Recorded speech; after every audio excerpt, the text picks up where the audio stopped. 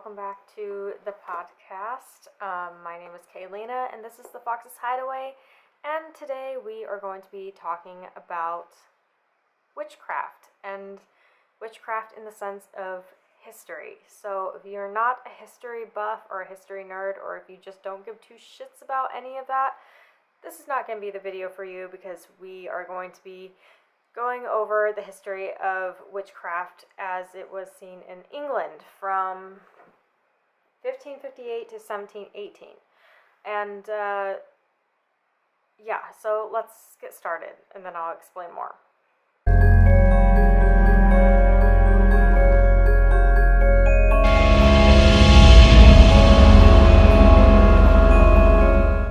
Okay, so I've been reading a couple different books here, and I'm all witched out today um, because why not? Um, I've been. huh. Okay. I've been trying to get through the three books of occult philosophy or magic, originally published in 1897 by Henry Cornelius Agrippa. And that's what this book looks like. I still have about over 100 pages left and i literally am not even quite sure i'm going to be able to do it i i just this is the most first of all it's written in that old english style like you know the typical books that you had to read in high school that you were forced to read during your summer break. And i'm speaking from experience. Uh, the books such as um, the iliad and the odyssey um, that that might as well be this kind of writing style. And it's painful to read. And i guess i'm either not intelligent enough to figure it out or i, I don't know. But i'm struggling big time on this and half of it i don't even understand what he's talking about. The other half there are things that okay. Why i decided to try to read this book was because it was supposed to like take you back to kind of the beginnings of witchcraft kind of breaking it down again and which would be good for me because my witchcraft introduction was not like a lot of people's. Like, I kind of nosedived off the deep end when it came to the witchcraft stuff because there's always been like an underlying part of me that really loved it, even like years ago before I even knew that it was actually a thing. Like, there was just something drawing me towards that. And so, my first, first witchcraft book ever, I had found at an antique store. And so my my introduction to witchcraft, I didn't learn the typical way that a lot of people start out with. And so there's probably a lot of there probably are still some holes here and there within my own practice and craft that because I didn't start at the baby steps of like the basics and the way most people should start, um, my foundation was not maybe as sturdy as probably some people's. Now, it's not to say it isn't now, but I learned through more advanced things up front and kind of now worked my way back. So I was trying to read this book to just go through almost the baby steps I didn't take at the beginning of my practice just to see if there was anything that I was missing. Unfortunately, I've been glad to say that as I've been reading this, I already knew a lot of this stuff from the more advanced books and stuff that I've already read and already learned about the subject. And I mean, let's face it, today anymore, with the numerous amount of practitioners that share their practices online, like, and there's tons of really, really amazing, amazing practitioners that share their knowledge on YouTube. And yeah, so between that and tons and tons of books, like, I, I feel like fairly confident I filled in the gaps. But this book is just, oh my gosh, it's painful to read. It's so hard to read. Like, I've never been good with like old English. Like, it might as well be a textbook to me. It might as well be, you know, the parents from the Peanuts. They're like, meow, meow, meow, meow, meow, meow. That's what it sounds like to me, um, reading these kinds of books. So, I, I, I never like to not finish up a book because there's always just like that sense of accomplishment that I get by finishing up a book, but I don't know if I can do it. I have been so unmotivated to read any more of this. And there's just a lot that isn't even like helpful to modern day witchcraft. Like there is a ton of where he'll just go on these ramblings, and maybe it's ramblings to me because I'm, like I said, just not smart enough to understand what he's talking about. But these ramblings of just different things, where if you combine a toad's heart with this and that and something else, then this will happen, and things that as far as my knowledge goes, I would never do in my own practice. I'm not saying that maybe there aren't people out there that don't still do some of this stuff, but not in my practice I don't. So I'm just like I it's not relevant to me anymore. And while some of the stuff is relevant as far as like the planets go and their associations and that kind of stuff, there's about a billion other things that you could probably read and get the same information out of that's a lot more focused and clear cut than this because if this was if this was my introductory to witchcraft i would have been like not for me man not for me. And i don't know. I guess maybe that's more i'm not saying ceremonial side per se but where you really pay attention to like the nitty ditty nitty gritty details and like and and there I have mad respect for that. Like I do, I really do, but it's just not my thing. like I'm kind of one of those people that just throws things together, whatever I'm feeling drawn to in the moment, whatever correspondences are speaking to me in the moment, and that's where we kind of go. How I'm feeling, what I feel like I need to work on, what spells are involved in my life, you know, and so anywho, that that's a lot of babbling about that for a book that I'm probably not even going to finish. But um, in other notes, I have to say thank you to oh, I don't remember your login information, but the last time I was talking about my pesky spirit that is still up to its old tricks. Um, but I can happily say that I have not had any more bad dreams since I put the water under my bed, and so that has worked. And I also put vinegar in there and salt. And so between those three things, I have not had any more spider hallucinations. I have not had any more like bad dreams. So thank you for that suggestion. Super helpful. I don't know why I didn't think like I've had tourmaline by my bed and I have some other protective crystals and stuff, but that wasn't quite getting the job done all the way, but doing that really helped. So, but I have to say, um, now it's trying. so I did a hardcore cleansing the other day, and apparently, whatever is here did not appreciate that. And I have a feeling there's no true way to get rid of it because it's attached to the house and it's spending most of its time downstairs, I think in the area of the house that my other renter is renting. So there is no way to cleanse that part of the house. So it goes there and then comes right back after I've cleansed. But we're dealing with it because most of the time we're just ignoring it. And uh, I just continually remind it that it has no power over me or my pets that live here and uh, that it really can't do anything to us. Um, but it decided it would be super fun to lock me out of the house the other day. And you think I'm kidding, but I'm not. Um, I went to get an Amazon package off the porch. Didn't bring my cell phone, didn't bring my keys with me because I was like, well, I don't need them. I'm just going outside real quick and coming right back in, right? No. After turning back around to open the door, it is literally locked locked. It was not locked. I swear to God, before the padlock was not like turned any wrong way. Both of them were in the unlocked position, and I couldn't get back into the house. I had no way back into the house. So, fortunately, my nice neighbor next door was able to come over with a knife and like jimmy rig it open, which is slightly discomforting knowing that anyone could really break into my house if they really wanted to. And, uh, but I was very thankful in that moment that he was able to get me back in the house because I'm not sure what I would have done. So, yeah, it locked me out of the house. And then yesterday, when I was watching a movie in here, I have books that are on my shelf down here.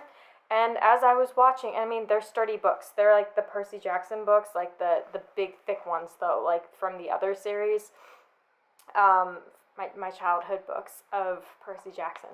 I still love those books.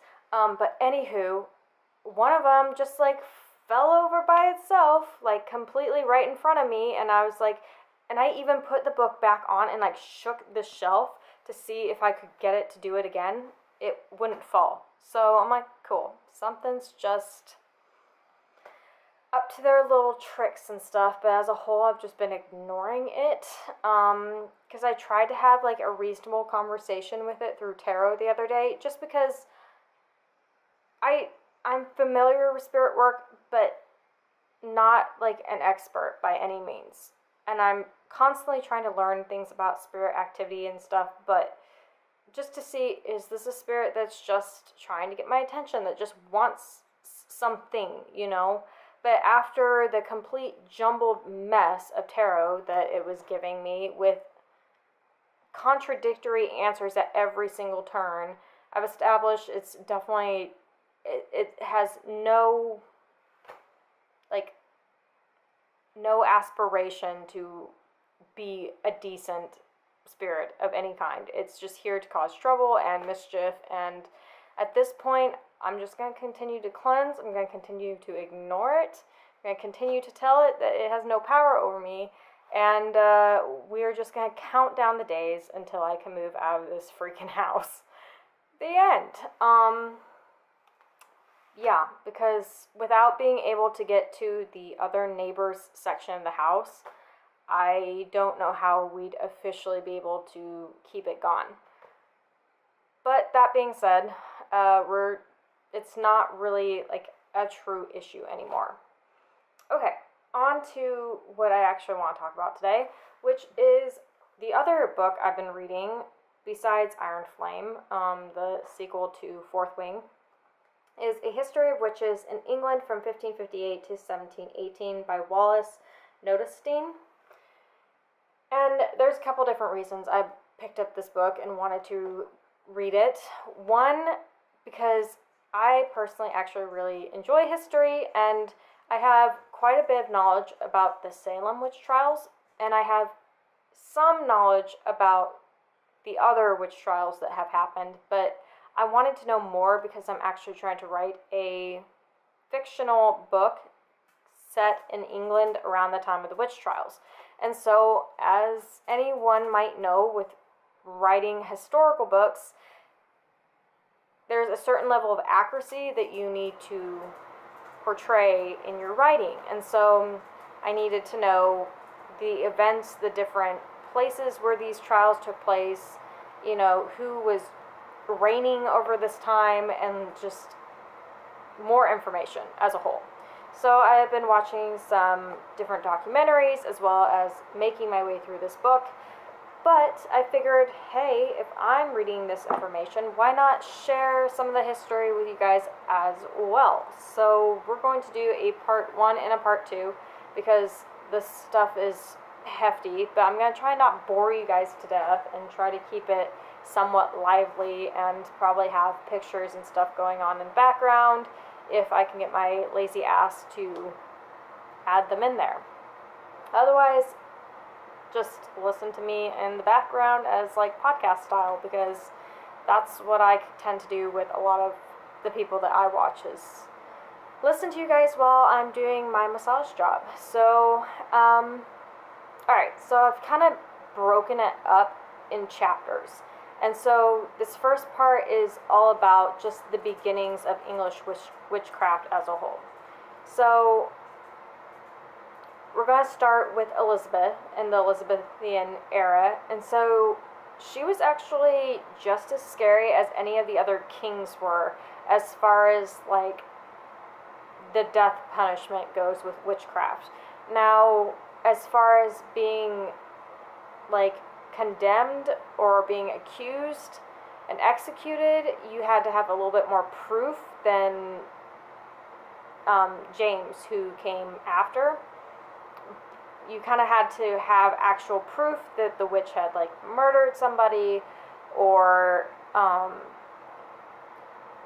you had to actually get like a real confession out of them versus later on you could pretty much just be accused by somebody and that was enough to secure your, your death um, which is crazy to me.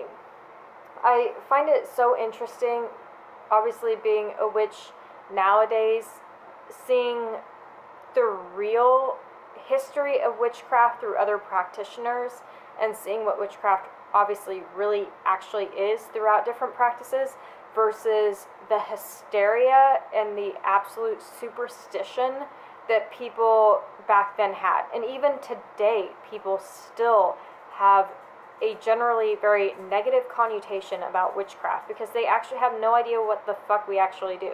They just think we're all sitting in our little houses, you know, condemning people with curses and you know animal sacrifices and no judgment if that's your thing but majority of us aren't doing that. Um, but it's so funny just even just i guess i'm in the fortunate position where i can freely practice witchcraft and openly talk about it if i want to I still get massive weird looks from majority of the people I open that can of worms with, but obviously I'm not going to have anyone condemning me to be burned at the stake and or be hung or killed and tortured in some other horrible way.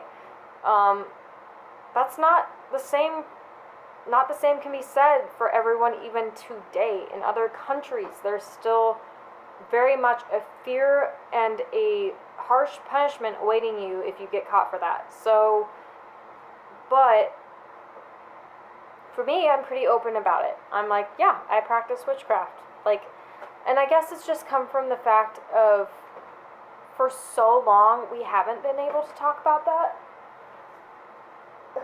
Sorry, my little dog is sitting on the heating pad, um, and it was making weird noise, and um, kind of scared me because the other day I uh, a little mouse got stuck in one of my spider traps and he's he was perfectly fine. I helped him. He was all good. We got him off the trap.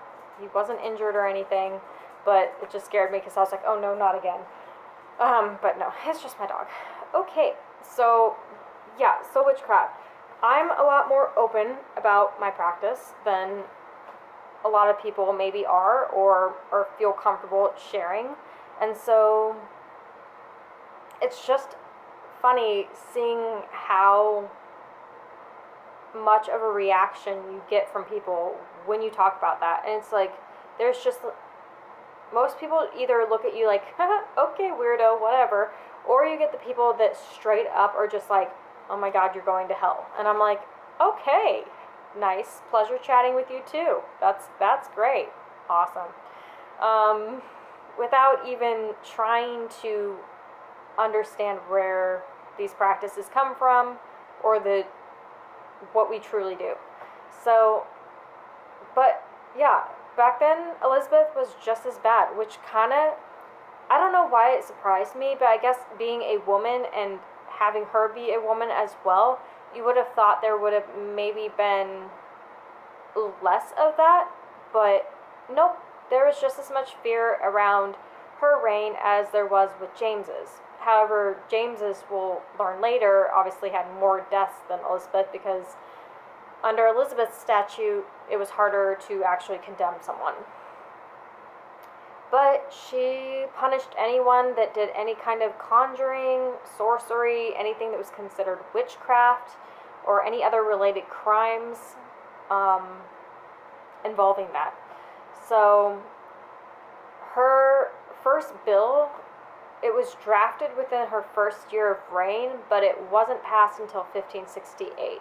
And it stated that any use of magic would have the person killed or destroyed, as well as anyone who aided or counseled them as well. So there was also a punishment for practices that involved like wasting or laming a person um, there would be a one year imprisonment as well as four visits to the pillory, and the second offense would be instant death. It was also stated that anyone by the means of witchcraft to find treasure that was stolen, um, property, or provoke any person to unlawful love shall also endure one year's imprisonment and four visits to the pillory. And in case anyone doesn't know what the pillory was, um, it was pretty much the stock hold where you had your neck and your wrists trapped, standing for a long length of time hours, sometimes days.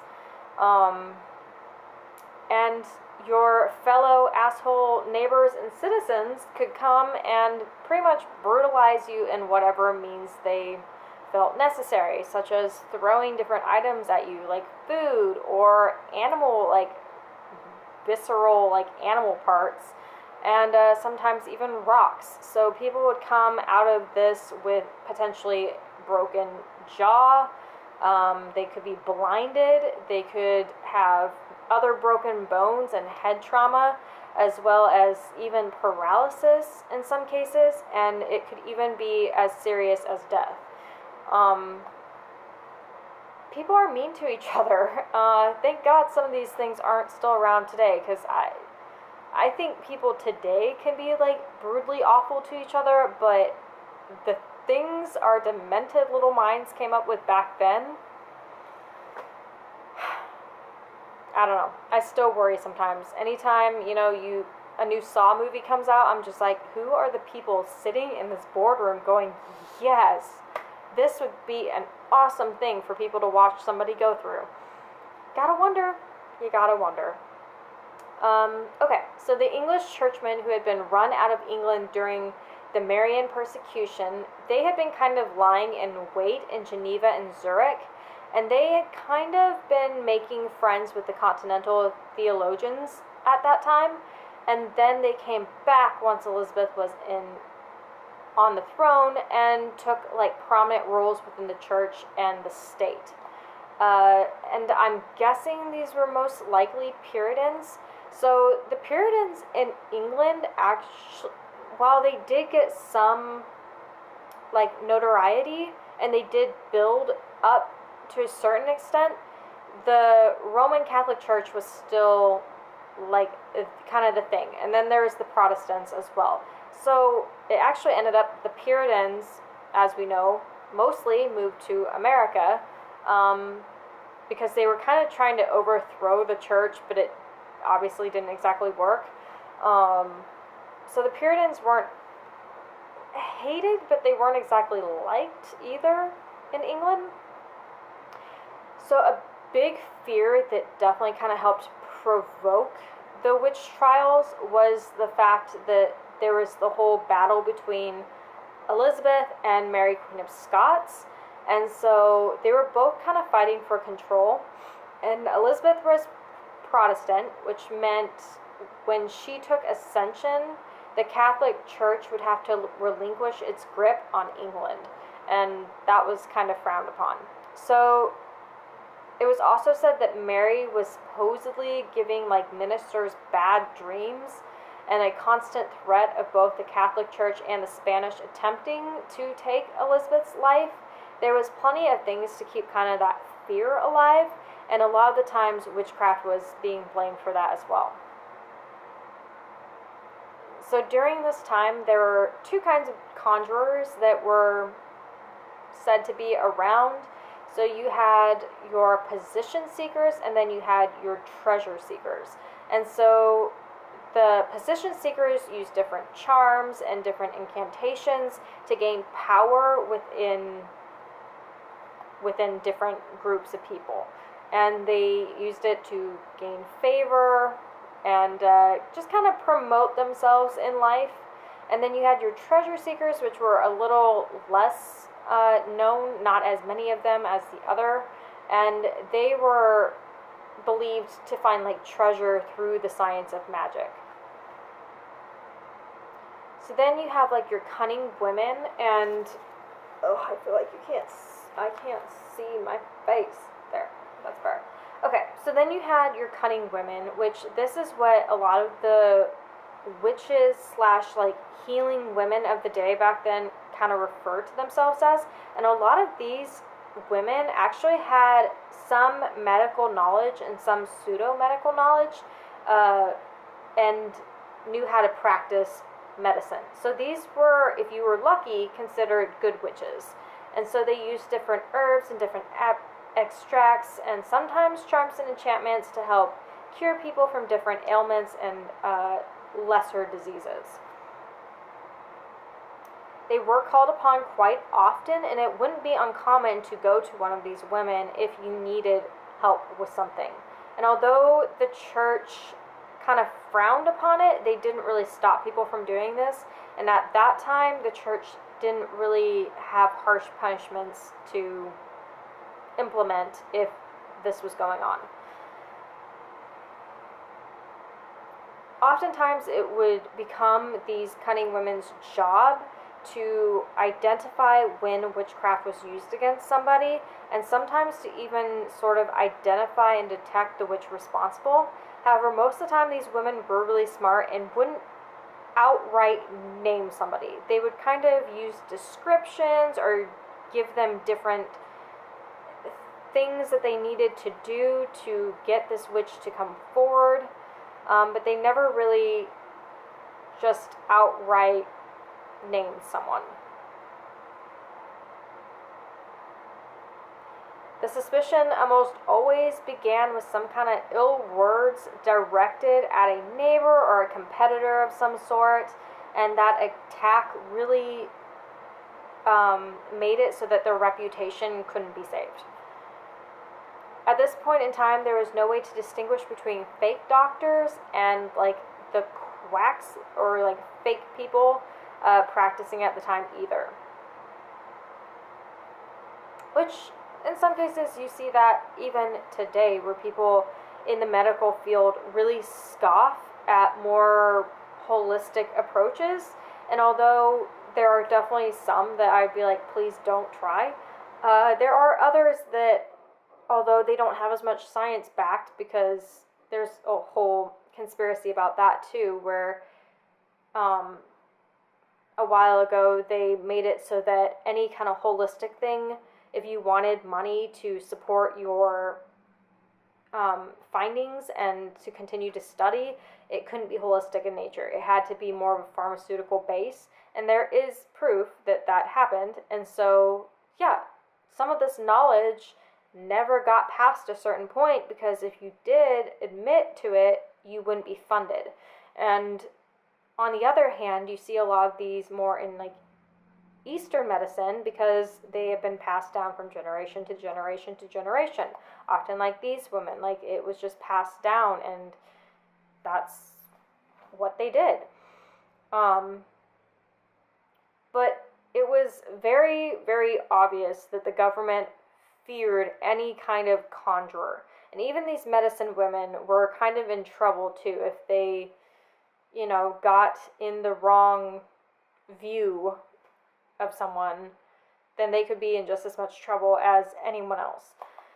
Um, and so the government put kind of a lot of resentment on these people that were suspicious of witchcraft. And so it kind of caused the perfect environment to stir up a lot of fear. And so while the government was putting down the conjurers, the justice of peace, they were compelled, along with the judges, to start hanging the witches.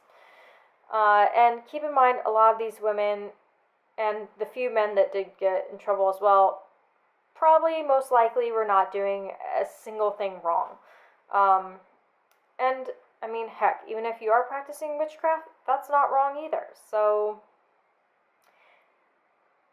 um, so at this time, as long as the state was not interested in a particular case, the church was allowed to kind of keep jurisdiction over these cases. However, that all changed during the second half of the 16th century when Henry VIII broke away from Rome and kind of created his own Church of England, with, of course, him at the center of it, because, you know, who else? And uh, so this meant that all the power that the church had now fell under the king and his judges and his ministers. So witchcraft, even on like a light offense, suddenly became a crime. The next section is witchcraft under Elizabeth. So in 1566, it marked the first important trial. This was the first trial to be accounted in the witch chap books and a large portion of the knowledge that we have about the witch trials during this time comes from these pamphlets. And they are brief and compact, and the pamphlet of 1566 was titled The Examination and Confession of Certain Witches at Chelmsford in the County of Essex before the Queen's Majesty's Judges, the uh, 10, 20, 25, 26th day of July, annul 1566. My Roman numerals, man, it's rough. Um, okay, so during this, Elizabeth Francis was examined and accused of villainies, uh, and so, a common theme during the witch trials I find is that once one woman is accused, she just throws everyone else under the bus too and just starts naming names and accusing other people. Which we wonder why women have a hard time today of, you know, lifting each other up and really being supportive. Well, this is a great example of um, that not happening because she threw her grandmother under the bus, which who does that? Who does that? Who throws their own grandmother under the bus? And she stated that her grandmother gave her a cat named Sathan, which sounds a lot like Satan. And uh, so they took care of this cat, she took care of the cat, and in return, the cat would give her whatever she wanted. And so at this time, Francis wanted a particular man and, uh, but the cat told her at first, yeah, you shall have this guy. And then she didn't end up having him. And so Francis told the cat to touch the man, and the man died. So then she asked for another husband because what do women want back in the day? Men, I, I guess, because they had no say of their own. Um, and this time she got this man. But unfortunately, it was not a happy marriage. And um, she kept the cat for about 15 years and then just passed it over to a woman by the name of Mother Waterhouse. And she was also like a poor woman who was then also examined for witchcraft. And this was not uncommon back then. Any poor beggar woman with any kind of deformity or who, you know, was slightly unfriendly or rude one day, these were pretty much easy targets. And so I have to say, this was like the longest living cat ever because the cat was still living at 15. Like, I mean, cats can definitely live that long, obviously, but anywho, then, Mother Waterhouse claimed that she then used the cat to kill other animals and even a neighbor that she didn't really like, ending with her own husband. And at one point, she turned the cat into a toad.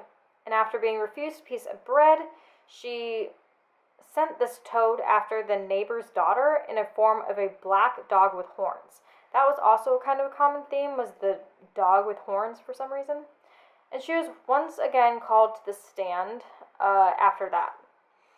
So then, Agnes Waterhouse, uh, she did end up suffering the penalty of law, but not before having to add to her confession.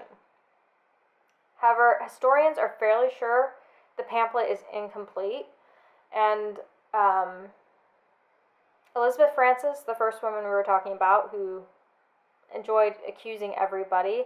She ended up escaping, but again in 1579, which was 13 years later, she was accused again, leading to a second trial at Chelmsford.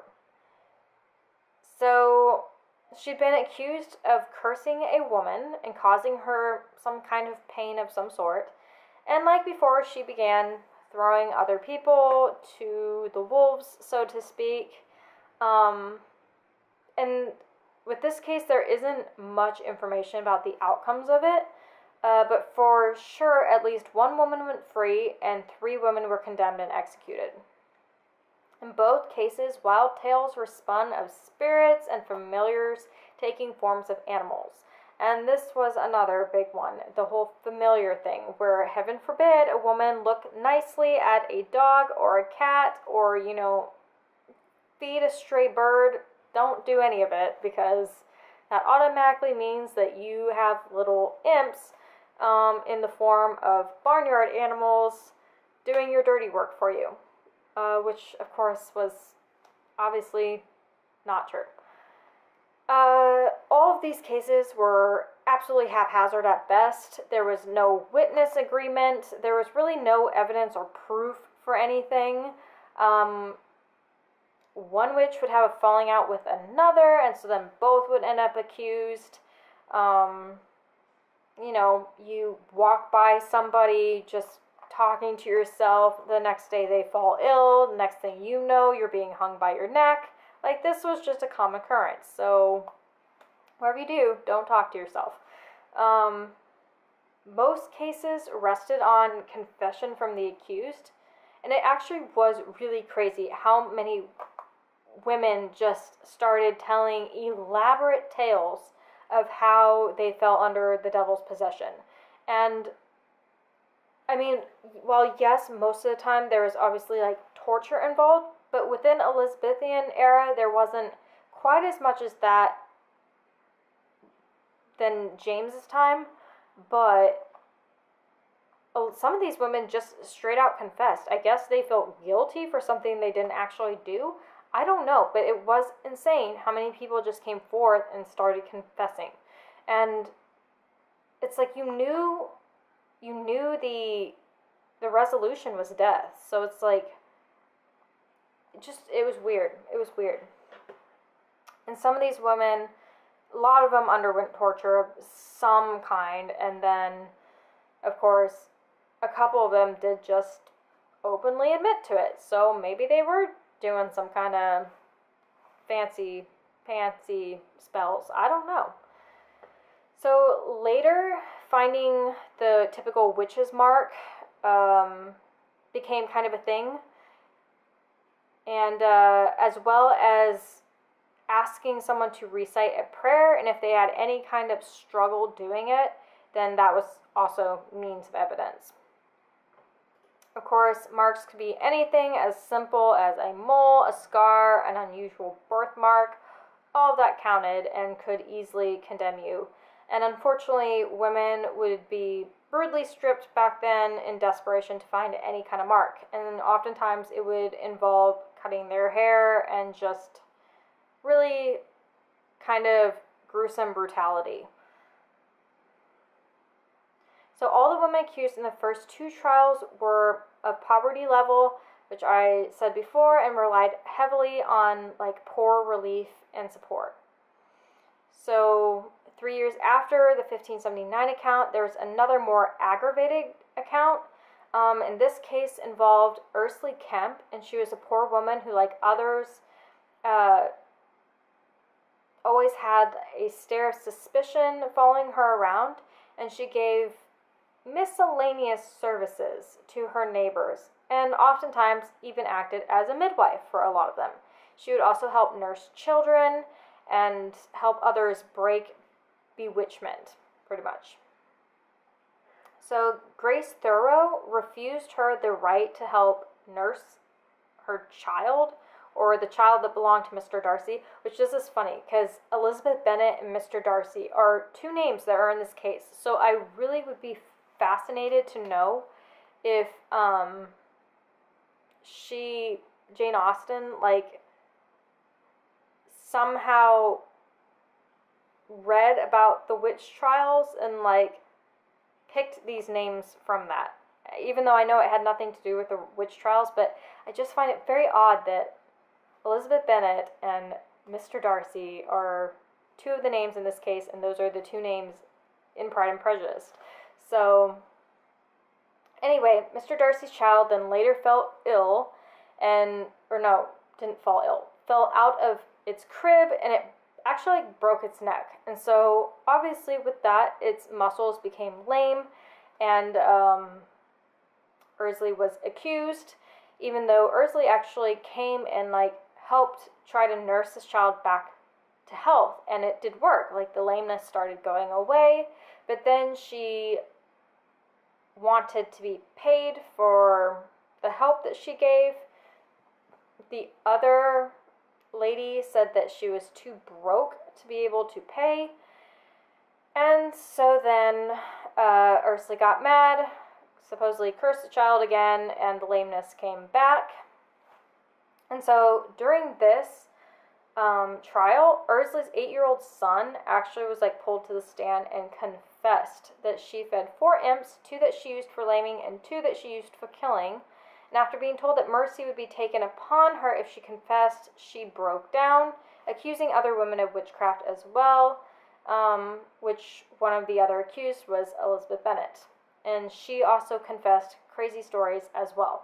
Now, it was not common, usually, for children to be put on trial at all. In any other kind of case, that would not have been a thing that was done back then. But when it came to the witch trials, it was not uncommon to see children of their mothers and coming up and accusing their own families of witchcraft, which is crazy. Can you imagine having your child like accuse you of witchcraft and inevitably being the one that kind of sentenced you to death? Like crazy, crazy.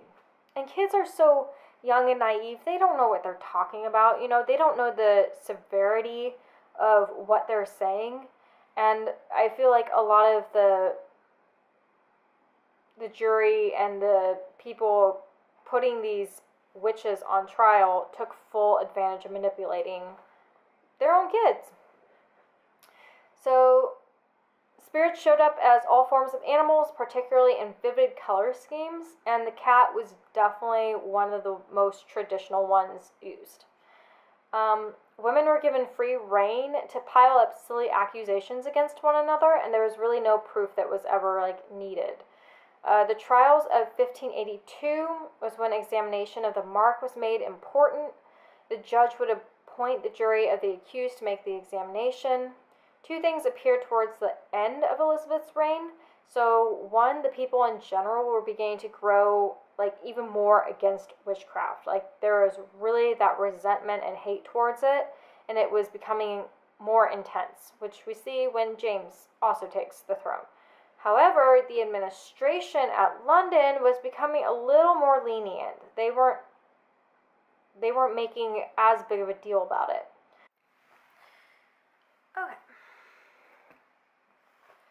So, the first half of her reign, few people got off, but during the second half, a lot more accused were able to be discharged.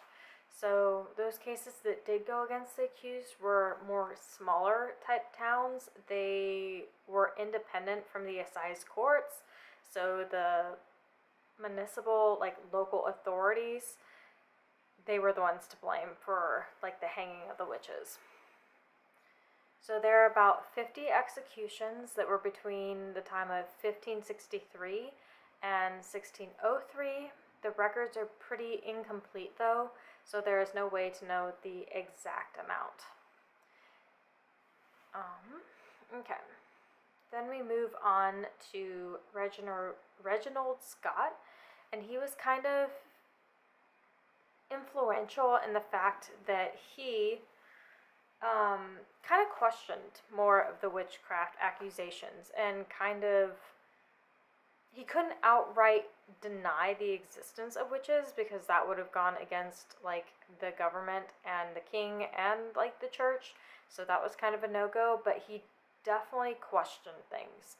Um, he based his discoveries on actual evidence. Although he never outright said he didn't believe in witches he definitely heavenly heavily implied that and he had a very healthy dose of skepticism. Um, he studied at Hart Hall in Oxford before coming back to his estate in Scots Hall, where he kind of settled down and kind of went into his duties of being a husband as well as running an estate. Uh, he also really enjoyed reading kind of obscure authors that a lot of people might have kind of bypassed. He was kind of into that.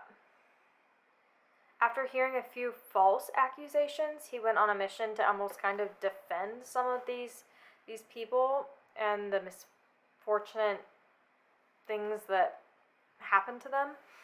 Um, he was kind of a modern day investigator, really.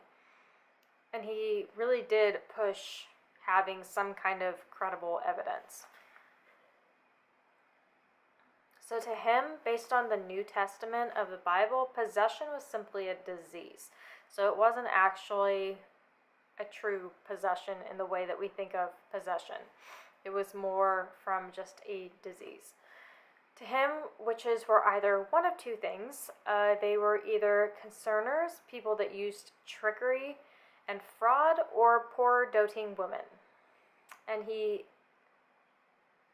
uh, he also wrote The Discovery of Witches that exerted influence on the community and most likely inspired other authors, such as George Gifford, to speak out about the unfair accused.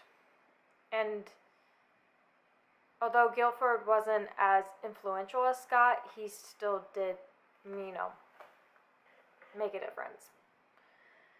So the next section was on the exorcists. So this is more pertaining to one particular man named John Darrell, who claimed to be an exorcist, and he would go around and he'd have people acting with him, and pretty much fake acting like he was doing an exorcism.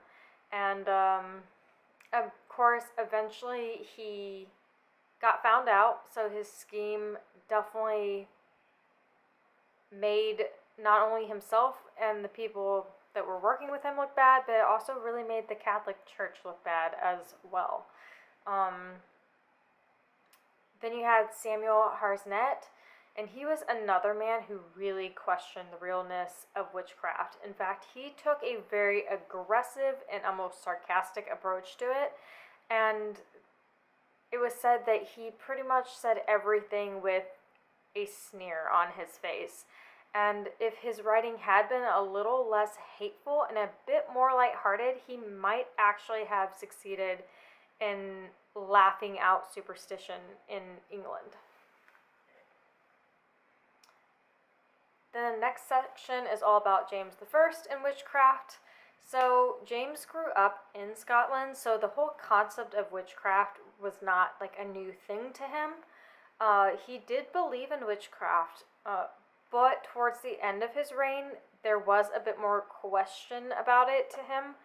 Uh, especially, I think, when he kind of looked at all the deaths that were caused. I don't know if he necessarily had remorse for it, but he maybe realized that it wasn't quite as serious as he thought it was originally. Um, he he definitely wanted to accuse the guilty, but he also put an emphasis on not convicting the innocent either. And so he really didn't like false accusations. And later, when he found out how many false accusations were coming about, it did kind of change his tune a little bit.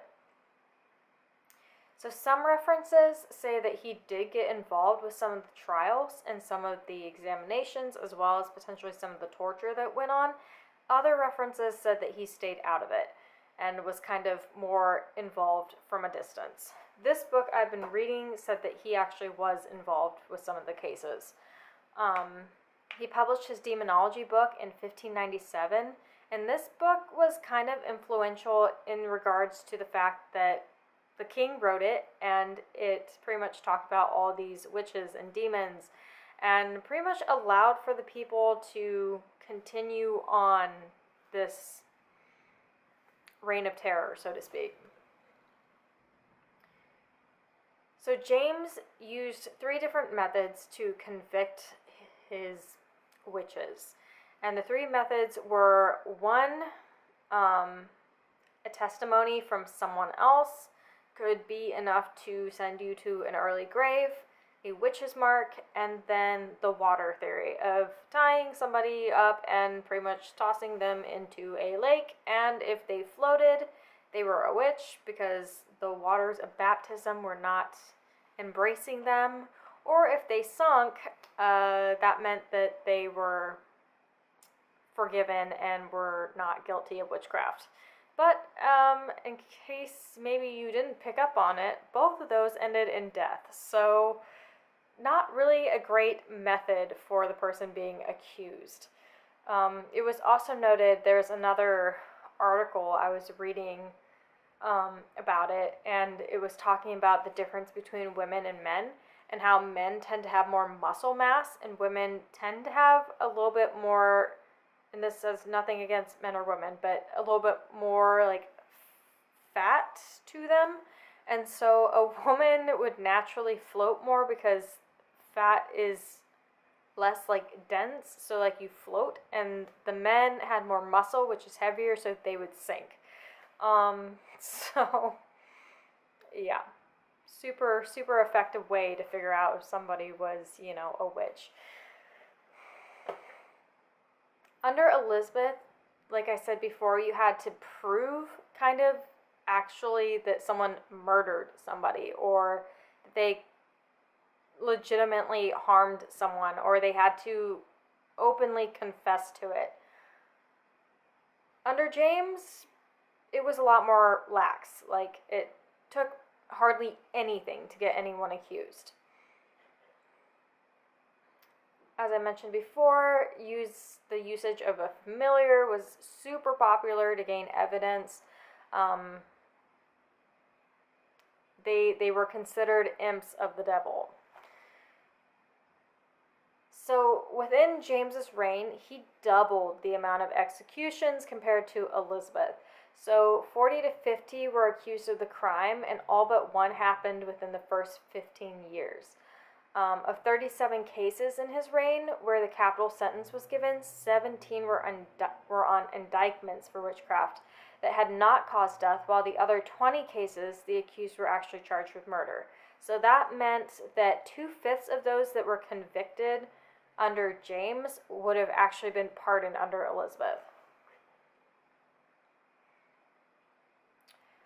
Like I mentioned, most of the women were of poor status.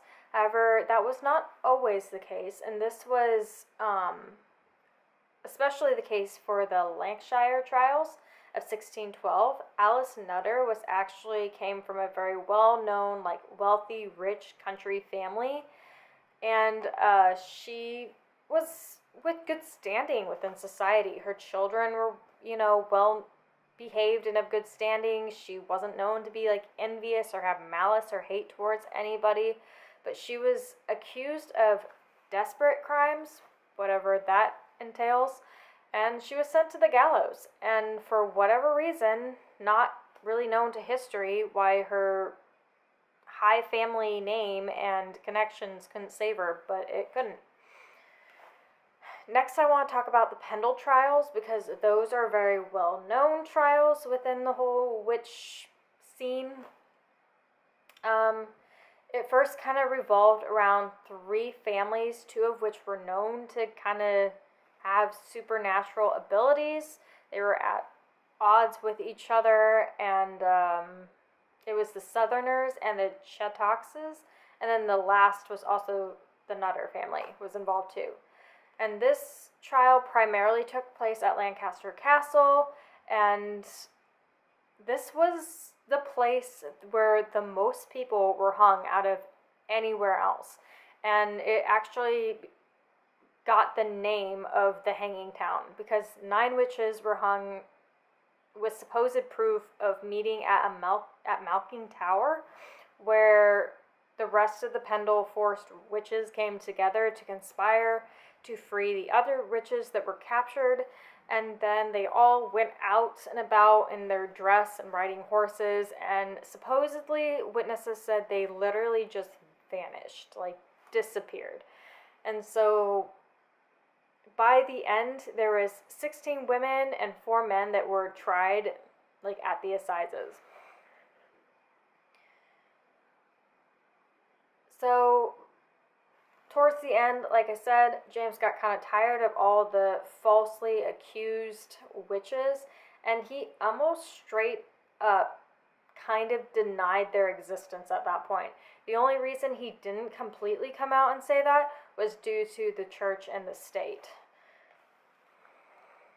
Even Shakespeare took inspiration from James's um, book because he based Macbeth on some of those uh, stories and rituals that he made the, the Weird Sisters from. And then lastly, Celtic paganism was kind of a big thing when James first took over. Uh, and I'm pretty sure he was in charge of like Ireland, Scotland, and England.